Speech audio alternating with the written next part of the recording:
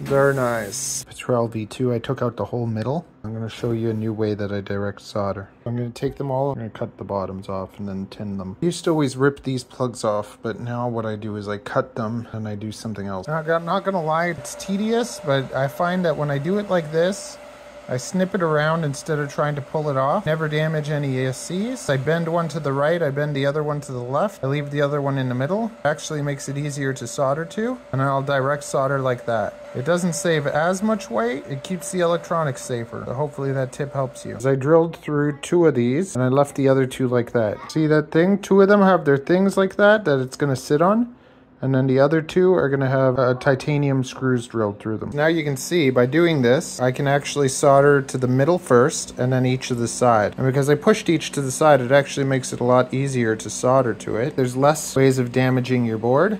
And now this thing, you can cut off your whole tray and use this and it'll be tighter to the thing. And we got our little kitty drone. Isn't that cool?